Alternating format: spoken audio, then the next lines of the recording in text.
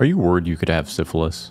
In this video, I'm going to explain the signs of syphilis as well as how doctors diagnose this elusive infection and what can happen if syphilis is left untreated. I'll give you a hint, it's not pretty. Syphilis is caused by Treponema pallidum, a bacteria with a distinct corkscrew appearance when viewed under a microscope. It's a sexually transmitted infection that has plagued humanity since antiquity. Historical figures, including Adolf Hitler, Friedrich Nietzsche, and Abraham Lincoln have all been theorized to have had syphilis infections. More than just an STI, left untreated, syphilis can cause terrible, deforming wounds as the bacteria eats away at a person's skeleton and invades their central nervous system, resulting in a slow, debilitating death as the person descends into madness. A syphilis infection progresses through three stages primary, secondary, and tertiary. Each stage is characterized by certain findings, however, a person might not show all of those findings in each stage. Syphilis has been called the great imitator.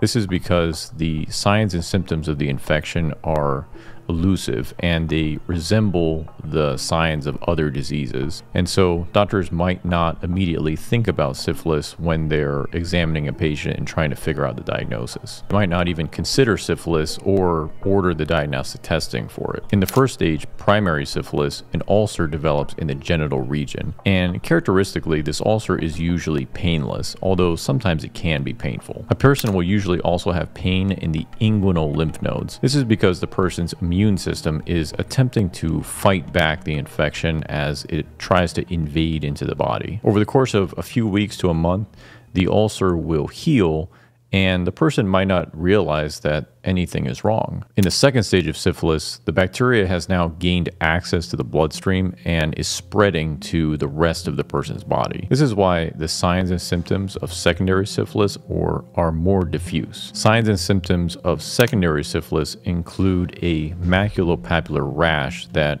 characteristically affects a person's palms and soles. This is why whenever I'm examining a patient for STIs, I always pay close attention to their palms and oftentimes I'll even look at their feet to see if I can find any rash. There's really not many infections or other diseases that give a rash on the palms or soles, and so if I'm able to find this, then it gives me a hint as to what the person might have. A person with secondary syphilis will usually also have fevers as well as generalized lymphadenopathy. So they might have enlarged lymph nodes in their neck or maybe in their armpit. If these are present, then again, it gives us a hint that there may be a syphilis infection present. After the second stage, Syphilis then enters a dormant period called latency. If it's less than a year from when the person was infected, we call that the early latent period.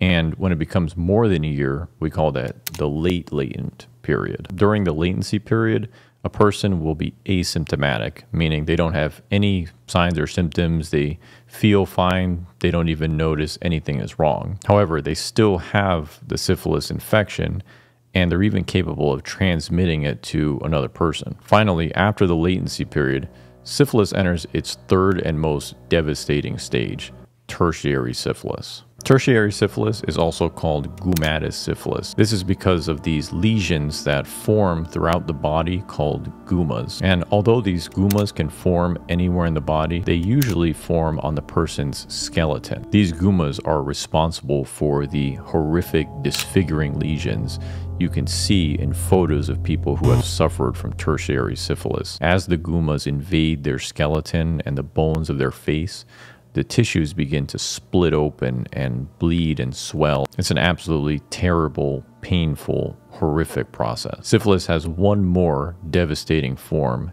and that's neurosyphilis. Neurosyphilis occurs when Treponema pallidum invades the tissues of the central nervous system, not just the brain, but also the spinal cord or the eyes, since we consider the eyes as a direct extension of the brain. While neurosyphilis generally occurs in the tertiary stage, it can occur during any stage, including primary or secondary. In fact, neurosyphilis may actually be the initial presenting form that a person comes in with when they first get diagnosed with syphilis. If neurosyphilis occurs during the tertiary stage, it usually causes a disease called tabes dorsalis. This is a disease in which the bacteria affects the dorsal columns of the spinal cord. The dorsal columns are responsible for our sense of touch, and so someone with tabes dorsalis may feel numbness in their hands or legs. People may have a decreased sense of vibration, as well as a difficult time keeping their balance while walking.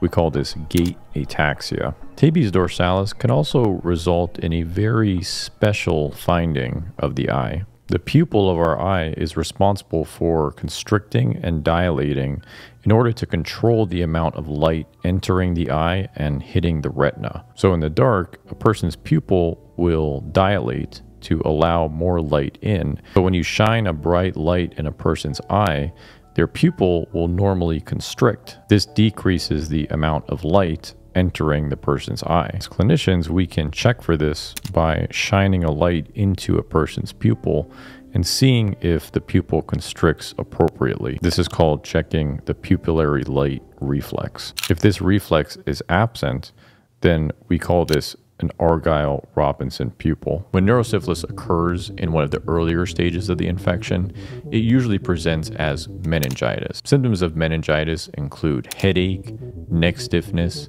and photophobia. Photophobia being sensitivity to light. A person with photophobia will actually feel pain with bright light, and they'll usually want to either turn the lights off and sit in a dark room or wear sunglasses. People with meningitis also exhibit lethargy or a decreased level of consciousness. A person with a decreased level of consciousness will seem like they're sleeping and can't be woken up no matter how much you try. This goes back to syphilis being a great imitator. When a person comes in with the signs and symptoms of meningitis, we as doctors don't immediately think about syphilis. This is because the infection isn't one of the typical causes of meningitis. And so it's not going to be one of the first things that we think about when we're trying to figure out what is the cause of a person's meningitis. It might result in a delay in diagnosis because we don't order the appropriate testing to look for the syphilis bacteria. In the pre antibiotic era, people infected with syphilis would often progress to tertiary syphilis. This is why archaeologists are able to examine the skeletons of people who suffered from syphilis because their bones show the characteristic destruction of the gummas. After the discovery of penicillin in 1928,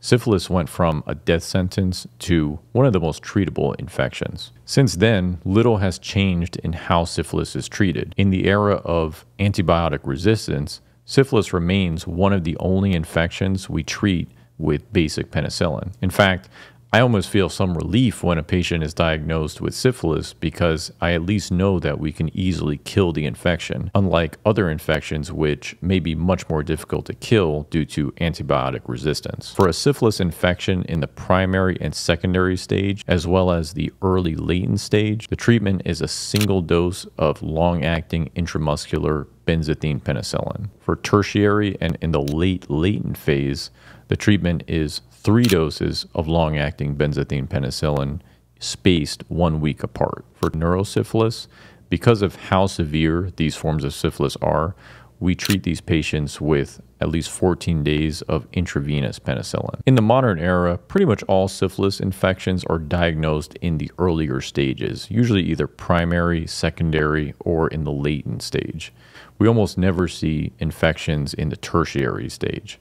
Personally, I've never seen anyone who has tertiary syphilis. The reason for this, again, is because penicillin is such an effective treatment and because our diagnostic testing for syphilis is very good. This means that infections are diagnosed and treated in the earlier stages before they can progress to the later stage of tertiary syphilis, which generally takes decades. Again, testing for syphilis is easy. It's a simple blood test. And so if you're worried about syphilis, talk to your doctor about it. So I hope this video was helpful and thanks for watching.